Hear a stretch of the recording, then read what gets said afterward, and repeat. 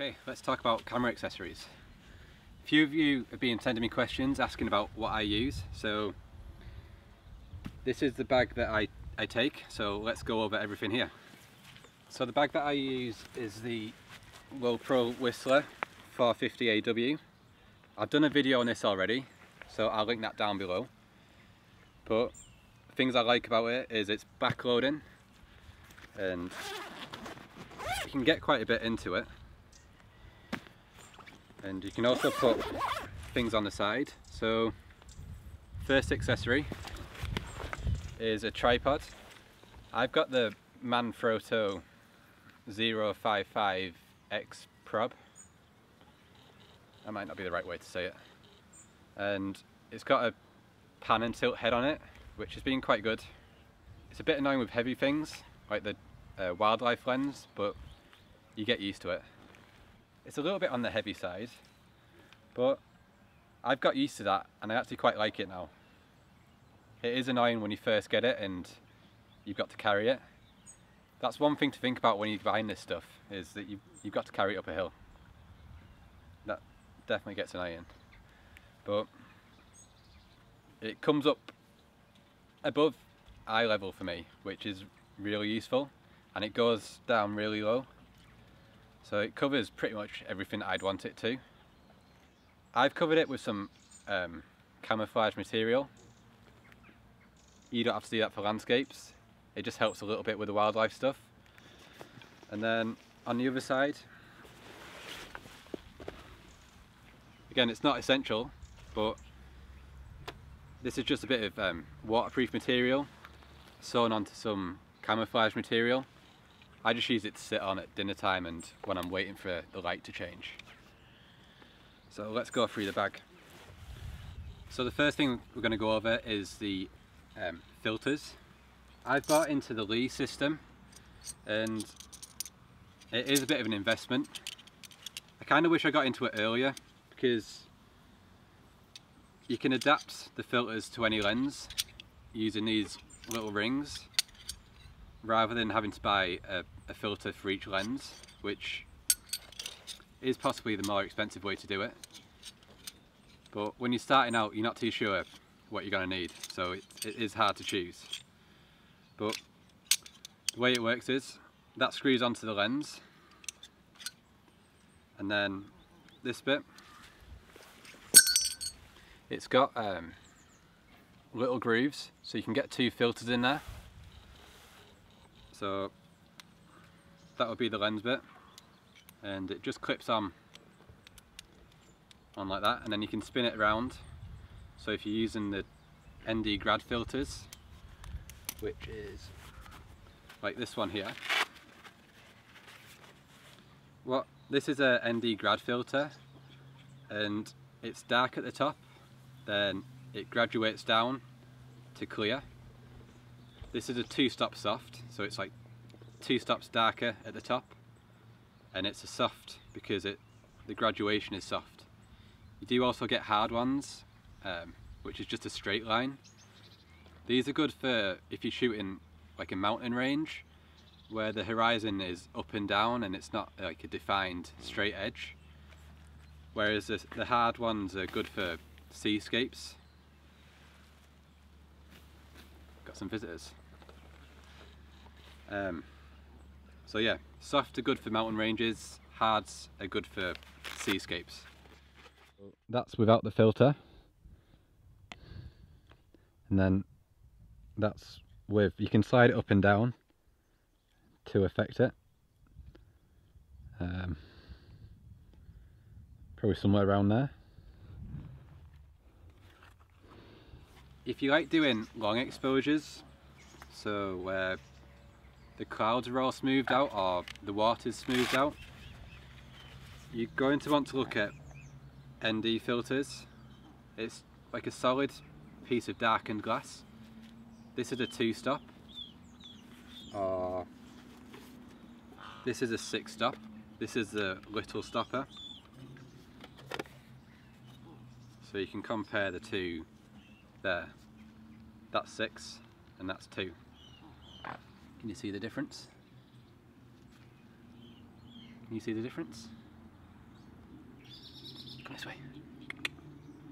So the way they work is you put that into the holder or you hold it on front of the lens and it just means that you can use a longer shutter speed and you don't have to make the aperture too small so you could use a f8 and get a, like a 5 second shutter speed rather than going down to f22 and then risk getting um, diffraction. Another good lens for the landscape shots is the polarizer. I use these circular ones and the way they work is you've got to be at a 90 degree angle to the sun and as you spin it that's what changes the effect so if you're looking down at some water um, you can get rid of the glare and it also gets rid of reflections which can be bad but go away. So if you watch the water here see how it's really bright just behind the tree like here as you twist it, the water is going to get darker. And around there. And it just helps make it all stand out. Probably use this lens the most. It definitely helps out a lot when you're down by a lakeside or um, if you're at a pier and it's reflecting on the pier then it does get rid of it so if I was going to buy one thing, it'll probably be that. The one thing you have to be careful of though is you need to get the right thread size.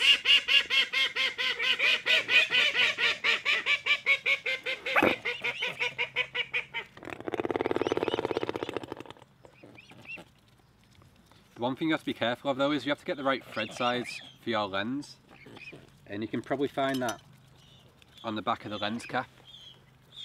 It's a number that's on here. So whatever that number is, that's the size lens that you need. You're getting in the way now. And then another thing that you're going to need is cleaning equipment. So this is an air blower. You just squeeze that and it it's good for blowing off big chunks that are on the glass. So if you're down at the beach and you get sand on the lens, so you take the big chunks off with that. And if you've got a bit of moisture on the lens, so it's been raining or mainly rain or mud, you just wipe it off with this. So it might be worth getting a few different ones of those because once they get wet, you're just rubbing more wet stuff onto the lens, so it doesn't really help. And then I've also got a little pouch of other little accessories. So I've got batteries, so there's camera batteries and there's batteries for the microphone. I have found that with the batteries, if you're out in the cold, it is better to keep them in your pocket because it's warmer there. If they're in your bag, they'll get cold and they just don't last as long. Probably last about half as half as long as usual. So it's important to have a few spare of those because you always run out at the wrong time. I've also got little screws which they're from the tripod I've never actually needed them yet, but I imagine it would be really annoying if those screws came out and you're waiting for a shot. So it's just nice to know it's there really. And then I've also got little accessories for if the tripod breaks. There's Allen key, there's a spare little um, clip that keeps the legs open. I've got an extra quick release plate for the tripod. If you are looking into getting into the long exposure photography, you're probably going to want to invest into a trigger release.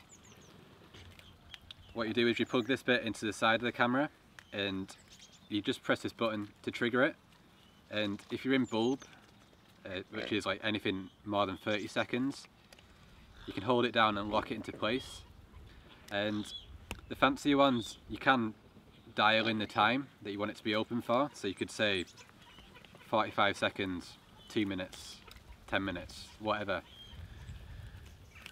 I don't really go past 30 seconds though, so I haven't bothered buying one of those yet. Another little thing that I like is I take these inner gloves. You're supposed to wear these under like a thick pair of gloves, but I find these are quite good for keeping away well, that one's knackered actually. I find these are quite good for just keeping the wind off and you can still use your fingers. My ones are all quite knackered. It's like, they're the things I use the most. But you can still control all the settings on the camera all at the touch of your finger rather than having to take your gloves off altogether and then just getting cold fingers. So I take a few pairs of them because as you climb up the rocks they'll probably get wet. Other things to think about is, well, it doesn't really help with the photography but if you're going up onto the fells you're going to need to take a map with you for the right area. Um, you can get the GPS but I don't trust stuff with a battery. That's not going to run out of battery so it's always going to work.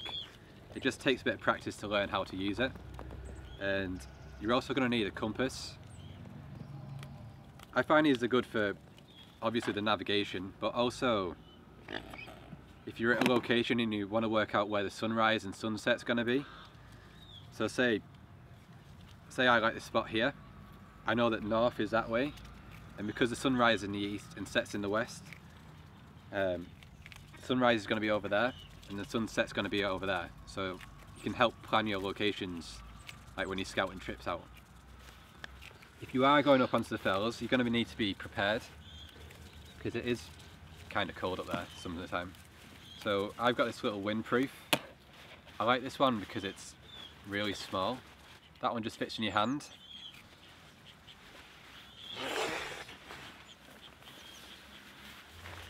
and they've also got this one this is more of a rainproof but again it's really small. It's a bit bigger than the, the windproof but that's not bad. Space is quite important when you plan on these trips because you don't have that much of it really. And I also normally take a few extra thicker layers because these aren't warm but um, keeping the water out and the wind out really help with staying warm. I think that covers everything that I, I use. There's a lot of snake oil products when you start looking that you don't need. I tend to take things because it's either practical, ah, hang on, there is one more thing. There's also this um, rain cover for the camera. The lens sticks out that side and the back of the camera is there so you can um, you can still operate everything but the camera doesn't risk getting wet if I wasn't photographing events and um, places where people have hired me and I'd rather look professional, I, I used to just use um, shower caps or a plastic bag and that worked just the same way. That just looks a bit smarter. So I think that covers everything. I've done a blog post over on adamkappa.co.uk as well. So I've done a write-up with links to everything over there. Um, I wasn't planning on there being swans when I started this. So I'm not sure if I've missed anything. But I think that covers everything. Um, if you like the video, please hit the like button and subscribe. If you want to help support the channel as well, I've got prints and greetings cards over at adamkappa.co.uk. And yeah, I'll see you next time.